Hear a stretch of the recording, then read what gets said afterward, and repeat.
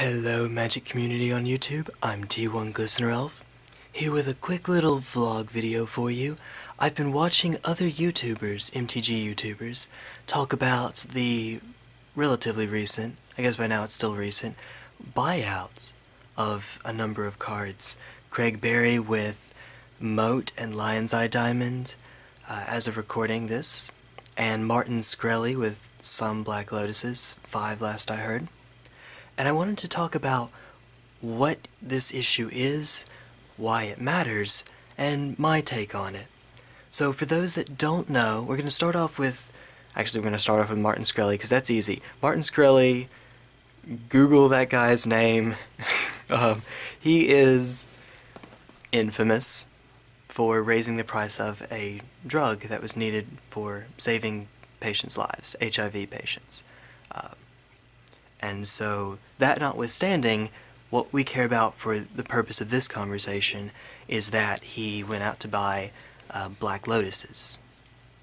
And granted, that's a really expensive card, so buying that out is hard, but we are talking about someone who has millions of dollars.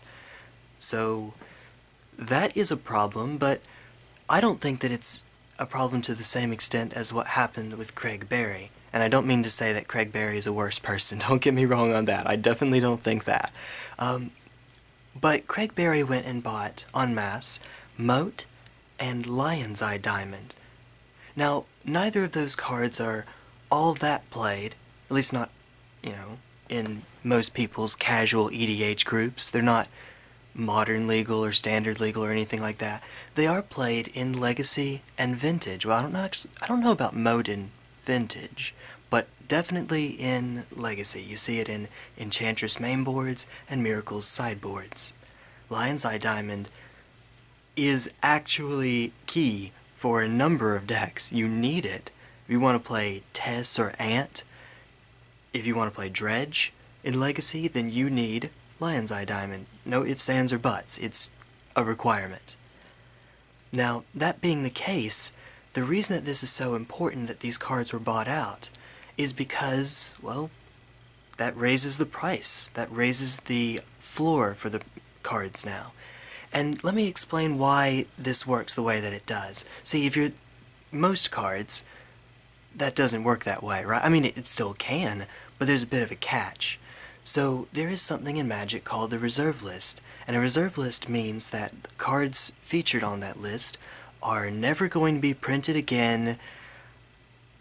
Kind of. I mean, they are online, that's the thing. And they are allowed, I think, to be reprinted as promotional cards, I think is an exception, but certainly not en masse. Um, they actually experimented with, say, Karn Silver Golem, for instance, as a uh, from the vault card, and some people didn't like that too much, so they uh, went back and said they're not going to do that again. If you're on the reserve list, that means that the supply of you can never go up. It can go down, of course, as cards are destroyed or brought into worse and worse condition, but it can never go up. If I want to invest in, say, Tarmogoyf, well, okay, that's a expensive card, and it's certainly something that people need to play, right? Well, not not every deck needs Tarmogoyf, but a lot of decks do. And yet, I know that Tarmogoyf can get reprinted, and in fact it has. Twice. Granted, neither of those were uh, very extensive print runs. Modern Masters 1 and 2 were both pretty limited, and admittedly that's somewhat the point. But at least there's a chance that Tarmogoyf gets reprinted, and the slightly greater supply decreases the price a little bit. In the case of the reserve list, that can't happen.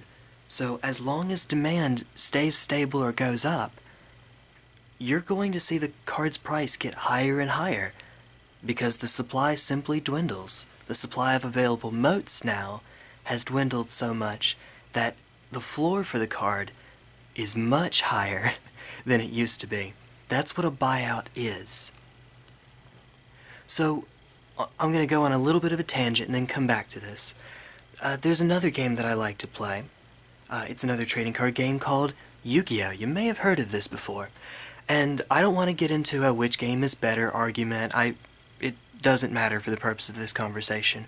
What does is actually a difference not between the games themselves, but between the companies. Uh, Wizards of the Coast versus Konami. They have taken radically different approaches. See, the reason that the reserve list exists at all is because in Magic's history they came out with a set called Chronicles, which was basically the predecessor to Modern Masters, Eternal Masters, etc. Um, it was a reprint set.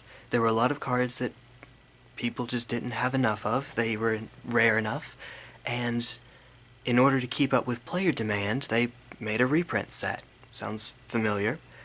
And collectors did not like this because they saw the value of some cards go down. Okay, so how do you fix this? Well, I think, and a lot of people think, that Wizards of the Coast overcompensated by saying, look, we're going to make a reserve list. We promise, promise, promise these cards are never getting reprinted again. We swear, cross our hearts. And lo and behold, they've kept to that promise ever since. Again, notwithstanding Karn's Silver Golem and whatnot. There was a similar situation that happened in Yu-Gi-Oh's history. They had, back in 2004, in October I think it was, Dark Beginnings 1, which was their Chronicles. And I don't know what this was like in the OCG, but in the TCG, people got mad. Exodia was a... if you know nothing else about Yu-Gi-Oh, you might still know Exodia uh, was a card that was in that reprint set, and collectors did not like that. And what did they do? Well, 41 weeks later, they came out with Dark Beginnings 2. They doubled down. And whatever you think about the game itself, Yu-Gi-Oh!, according to the Guinness Book of World Records, has more cards in circulation than Magic, and this is part of the reason why. Now, that does have its own problems. Uh, if you gear the game away from collectors, then you make it a bad investment. And if you're trying to get into Yu-Gi-Oh! because you want an investment, spoiler alert, that's not a very good idea. They reprint the crap out of their cards, absolutely. Magic the Gathering has the opposite problem. They don't reprint enough, even when a card isn't on the reserve list. Unless it's really, really in demand, and even then, maybe not. um, it's going to either get a limited print run in something like Modern Masters, it doesn't get printed at all, or occasionally you might see it show up in Standard, but they regretted cards like Thoughtseize and Mutavault. Admittedly, those were somewhat format warp warping, even though I don't think that Thoughtseize was broken, it was definitely warping. And that's an important distinction. But back to MTG Finance. Corbin Hosler from blog.mtgprice.com conducted an interview with Craig Berry uh, and put an article with the interview on his website. Link in the description below. You should definitely check that out. It is an awesome read, I think. Uh, there are some quotes from it that I'd like to address. Uh, the first one is in response uh, to the question from Mr. Hosler. For Moat, that makes sense, the, the buyout, the logic behind it. What about Lion's Eye Diamond? A buyout that has priced some people out of playing Legacy. And this is his response. Quote, I don't look at Magic as a game. I look at it as a business, and it's kind of like day trading. I feel bad for anyone priced out personally, but it's not going to change what the business is. It's just how the world works. End quote. I think that it's important to note here something that gets overlooked in discussions about buyouts, for instance, when you see someone make a comment like that, that doesn't necessarily mean that they're a bad person. I like to think of people to the extent that they operate as uh, traders, as investors, as businessmen and women. I like to think of them the same way that we think, in America at least, of corporations. A corporation has a fiduciary responsibility to make money for its shareholders. It has to do that. It has to make money. And as such, corporations can't really be moral entities. I mean, to the extent that they can be, it has to be in line with the mission of maximize profit for the shareholders. And I think that that's how Mr. Berry is.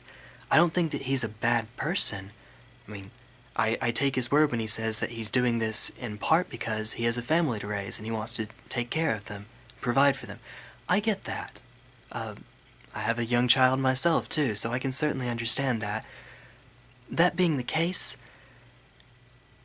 there is a business interest that he's actually pretty explicitly putting over the community interest.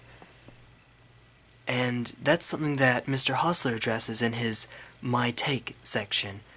He says, I choose community over capitalism. What about you? And this is part of the reason why I can't make myself invest in the same way. I can't do it. If I know that a card is only going to go up, at least until demand goes down because no one can play the format or the game anymore because the price is so high, until we get to that point, the price keeps going up on these. I know that, and I can't make myself buy these cards just for the sake of investing, because I know that every time that I take a card for myself, that's one card that someone else can't have. And, and to his credit, perhaps, Mr. Berry also addresses this in the article. He worries that, I'm paraphrasing here, he worries that, you know, he could just sit back and not spend the money, but that money's going to be spent regardless. He could buy the card himself, or someone else could buy it, but it's inevitable the way that he sees it, and to a large extent he's probably right. He just wants it to be him if it's going to be anyone. You can call that selfish. I see it as rational, but I don't agree with that mentality, even though I certainly understand the logic behind it. He does make another quote here that I think is consequential for myself and those who are watching this. He says, The people who complain about prices don't affect the market. They weren't the ones who were going to spend money from the beginning. With Moat, I've never seen so many people complain about a card they were never going to buy. It's really easy to have trigger fingers and complain about something, but it doesn't affect the market. End quote. Alright, so I, I don't think that he means it the way that it came out. Uh, with Moat, I've never seen so many people complain about a card that they were never going to buy. Of course, he can't know that, and if, if the price were lower, maybe they would actually end up buying it. But ignoring that point, perhaps that's reading a little bit too much into his exact words. I, to his general idea, it is not the case that people who complain about prices don't affect the market. I mean, there is some truth to that, right? By definition, if you're not spending money, you're not affecting the market, right? Well, no, that isn't exactly how that works. By not spending money, if you're doing it actively or inactively, you are making a choice that does affect the market. So, for example, um, he talks about a buyout on Rest in Peace that he made. Well, not a buyout, he didn't buy all the copies, but he bought a ton of copies. Rest in Peace is a really good card, and at the time, he bought it for less than a buck. And of course, it has gone up and up and up and up and up ever since then. He realized how much the card was worth and put his money where his mouth is, and went and bought them because he was speculating on something that he was sure was going to go up. So that's how it can work in one direction, of course. That's for people who do spend the money. But for people who don't spend the money, people who just complain, well, there's a number of ways that they can affect the market. The first is with what I like to call your virtual money, which is to say, not digital money, that's not what I mean. It's saying act loudly enough, I would spend the money, but. In other words, you aren't spending the money, but you would spend the money if X. Hey, I want to get into modern, but there's not there aren't enough Tarmogoyfs for me. I would get into modern, I would buy the cards, your packs, but I need Tarmogoyfs, and lo and behold we get modern masters, because they realize that there's that demand. So if you complain enough, that's raising awareness of demand. I don't know if Wizards of the Coast is legally allowed to get rid of the reserve list. It may be the case that they're not. Um, you know, the spiel, I'm not an attorney, yada yada yada. Uh, there may be some legal issue with that, some obstacle there. But if they are allowed to, you don't think that if there are enough of us saying that we will spend oodles and oodles of money, that they wouldn't give in? No, assuming that they can get rid of the reserve list, they are constantly making a cost benefit analysis. And so far, they've always decided that the cost outweighs the benefit. And so they've come up with their own workaround, and that is Magic Online for reprinting power, for instance. Another way that you can affect the market, and this one I definitely don't like, is by not playing the game. That's kind of sad. That's not where I want to be because I love magic. But it's true.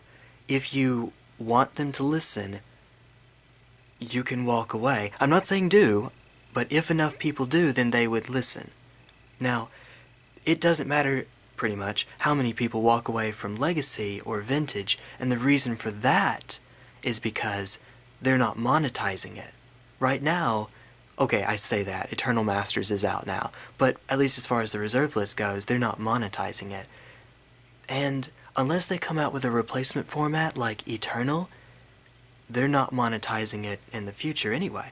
Bear in mind that even if a card does come off the reserve list, that doesn't mean it's getting reprinted. But, anyway, uh, I say all of that largely just to say this. It, it's for the purpose of informing you, but it's also to encourage you. Don't get depressed by these stories of buyouts and whatnot. Don't let the worst aspects of MTG Finance keep you from playing the game. MTG Finance can do beneficial things, of course, as uh, Corbin Hosler has actually spoken about in that very same article. Uh, and he actually leaves a, a number of links to different ways that Magic the Gathering as a community has helped people out and what his goals are in MTG Finance. They're trying to get people into the game, not pricing people out, not just making a quick buck. So one recommendation that I have for you, give some other formats some love. Personally, I'm a big fan of Pauper. it's Legacy Light to a greater extent than Modern is, I think. Modern feels very different to me, but in Pauper, you get to play, I'm just going to start naming Blue, right? You get to play Brainstorm, you get to play Daze. you get to play Counterspell, you get to play Brainstorm. I get to go brainstorm, fetch, ponder. okay, granted, your fetches are evolving wilds and terramorphic expanse, but I get to do that when I play Turbo Fog, and I can see burn decks and white weenie decks and control strategies. There are Tron decks. There are combo decks. It's a fun format. And that's just one. Uh, you can get into other formats as well. I like Tiny Leaders. Giving that some love is pretty sweet. Although it does use some reserve list cards potentially, they're in the pool. In any case, just find a format that you like and give it some love as well. But if you do want to play Legacy and Vintage, and I'm not going to lie, Legacy is my favorite format, Vintage is up there. For all those people that complain about them being these graveyards of turn 1 kill decks, play the format. You will very quickly see, if you play on a competitive enough level, which is to say pretty much anything other than the kitchen table, above the kitchen table I should say, it is not a turn one format. A lot of that has to do with force of will and Daze, of course, but a lot of that has to do with just the sheer diversity, especially in Legacy, that you can find going from deck to deck to deck to deck. There are so many good ones. You can basically pick a deck that suits your personality. How many games can you say that about? Well, in any case, if you want to play those formats, even without owning the cards themselves, do proxy them up. I'm encouraging you to proxy them up. Obviously, we can't play them at sanctioned events. That should go without saying, I suppose. But you can play in a, a casual play group, at the kitchen table. Uh, you can just go to your LGS. They can't sanction a tournament, but you can just hang out and play. Uh, when I lived in Athens, Devin Cox, uh, Thomas Dodd, you guys played Vintage with me, and I got so messed up. you guys are good. Some of the most competitive Magic that I've ever played was against you guys. Certainly the most competitive EDH I've ever played was at Galactic Quest in Lawrenceville. Because they allowed proxies. And people could therefore optimize their decks. They could get whatever they wanted to into their decks. And I had people throwing out volcanic islands and tundras and bat or not badlands uh, plateau there we go. Uh, in the same deck. Even though they definitely could not you know they're they're high school kids. They couldn't afford that. And i got some of the toughest magic again that i've ever played from these guys and girls. Alright and also get into some budget brews and I don't just say that because, you know, you, you can't afford it, right? You can't afford Tarmogoyf, so you can't play Tarmogoyf. No, no, I mean, there's another good reason why I like it. It's because if you win with a budget deck, ooh, it can be even sweeter because of the uphill battle through which you had to slog to achieve victory. You know, it's one thing if you win with some, you know, $2,300 Jund deck. You know, it's one thing if you win with some Esper Deathblade or something like that in Legacy. No, no, no. It's all the more, it's all the cooler when you can come in and win with, I don't know, you, you come in with Mono Green Infect, you come in with, uh, I'm trying to think of brews of mine that are pretty budget friendly, um, Mono Blue Infect, you come in with Polymorph, you come in with, oh, I don't know. There's some Tron lists that are pretty cheap still, actually. Uh, you bring whatever it is that you want to play. Uh, I have a mono white prison deck that's actually pretty cheap, and you can switch some cards out. It doesn't have to be the way that I build it. But the fundamentals of the deck are pretty solid, I think, and it will just outright beat certain decks. Oh, it's so sweet to be able to take out that Jund player, that Junk player, or whatever these kids are calling it these days. Yeah, with a homebrew of yours. Anyway, th those are my two cents on the matter. I hope that you've enjoyed this vlog video of mine. I hope to have it up for you in the next couple of days, by the time you actually watch this. Probably recorded a couple days ago. Upload speeds are pretty terrible here in northeast Georgia. That's alright. And I hope, by the way, to get some new brews up pretty soon. Uh, some new budget brews, especially. I know that this uh, this reprint issue is going to be a thing for the future, but if you do want to play Legacy, I have a deck for you. It's pretty budget friendly, at least as far as Legacy decks go, and it's competitive enough, I think, that you'll enjoy it. So with that being said, I will see you later. Take care, Magic Community on YouTube. T1 Glistener Elf, signing off. Bye bye.